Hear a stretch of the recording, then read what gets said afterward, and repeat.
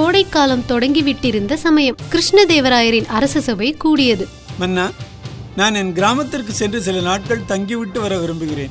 சரி ஆகட்டும். பதினைந்து நாட்களுக்கு மேல் தங்கிவிடாதீர்கள்.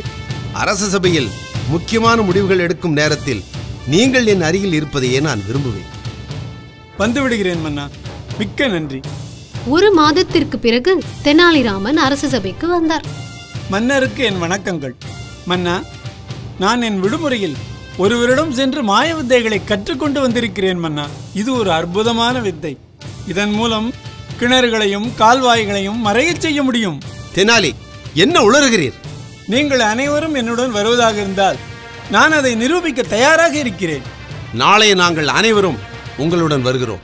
அடுத்த நாள் தெனாலிராமன் அனைவரையும் விஜயநகரின் முக்கிய இடங்களிலிருந்து தள்ளி இருக்கும் ஒரு கிராமத்திற்கு அழைத்துச் சென்றார்.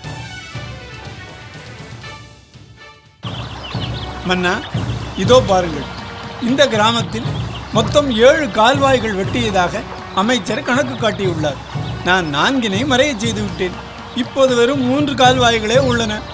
மன்னா முக்கிய நகரங்களில் மட்டும் கால்வாய்களை ஒழுங்காக கட்டிவிட்டு கிராமங்களில் கால்வாய் கட்டுவதில் அமைச்சர் நிறைய ஏமாற்றி ஊழல் செய்திருக்கிறார். இதனை கண்டுபிடிக்கவே நான் கிராமங்களுக்கு சென்று சோதனை செய்து வந்தேன். நல்ல காரியம் செய்திருக்கிறீர்கள் தென்னாலிராமரே.